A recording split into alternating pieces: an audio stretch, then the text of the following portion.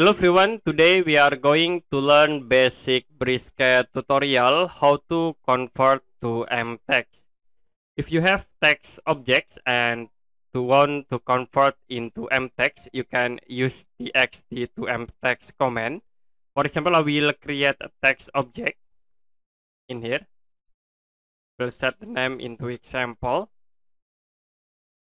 Now you can uh, rotate and then if you want to convert this text into mtext you can type txt to mtext press enter and then select the text object and enter again.